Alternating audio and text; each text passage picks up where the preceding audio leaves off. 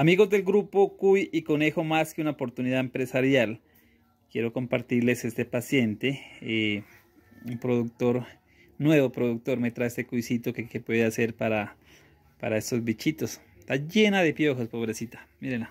Y una hembrita que está preñadita, tiene buen peso, pero miren de la cantidad de piojos, son cientos, cientos, cientos de piojos. Debemos ser muy cuidadosos con este tema.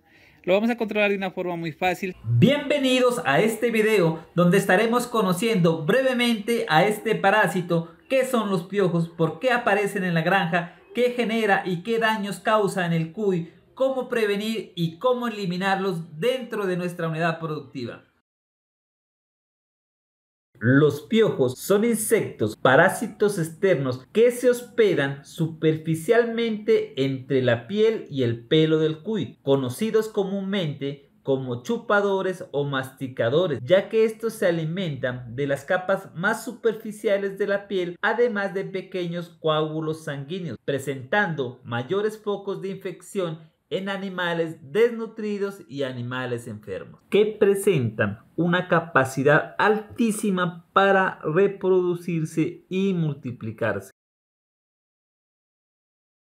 Los piojos son un indicador de que nuestros programas de plan sanitario, alimentación y manejo están mal estructurados. Una alimentación deficiente que no cubre los requerimientos del animal, sumado a un mal manejo, una falta de aseo y desinfección programada generan los ambientes propicios para que el cuid entre en estrés, lo que posteriormente se verá reflejado en la presencia de estos parásitos que inicialmente atacará animales jóvenes, animales viejos, animales enfermos y posteriormente a todos los animales de la unidad productiva.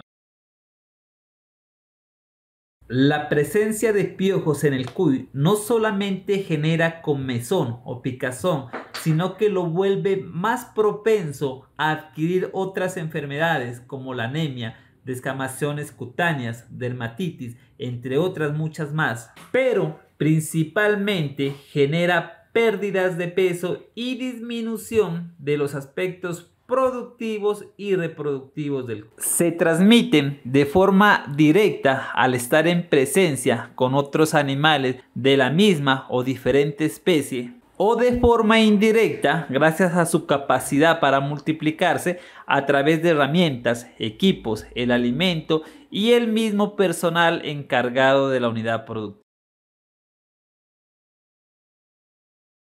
La mejor forma de contrarrestar piojos dentro de nuestra unidad productiva es a través de la prevención. Para esto es necesario tener en cuenta algunos aspectos como es la implementación de limpieza y desinfección programada. De esto ya tengo un video. Al menos dos veces por semana debemos aplicar yodo y una vez al mes debemos aplicar un desparasitante externo que nos ayude precisamente con el tema de piojos y otros insectos que se instalan dentro de nuestra unidad productiva.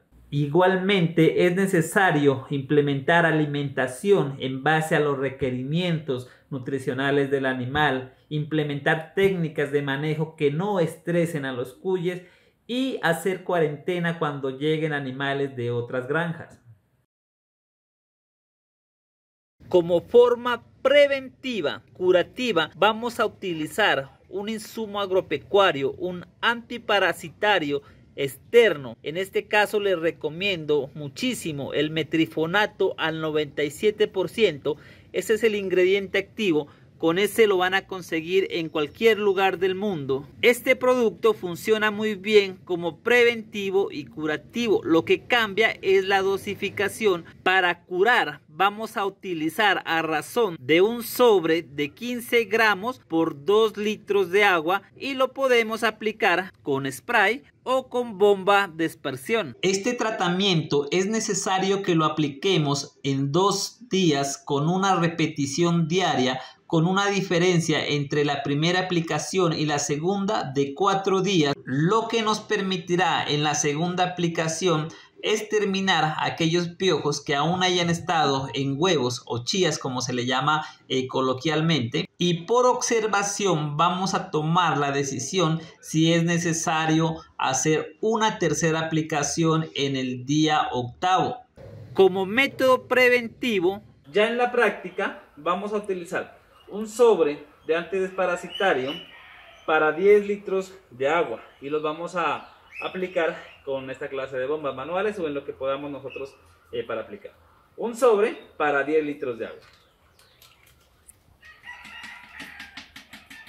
Importante a la hora de aplicar el antidesparasitario y aplicar el desinfectante que utilicemos pues algún equipo de protección, ¿sí? La forma de aplicar es directo, ¿sí? Esto no le hace daño a los cuyes, esto ataca lo que son los insectos, larvas, y el cloro va a desinfectar, no hace daño a los cuyes. ¿Listo? Lo podemos aplicar en esta forma, sin ningún clase de, miedo.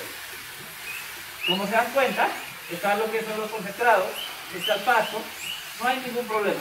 Tanto el cloro, tanto el cloro como el antidesparasitario lo podemos aplicar. ¿sí? Lo vamos a aplicar sin ninguna clase de restricción.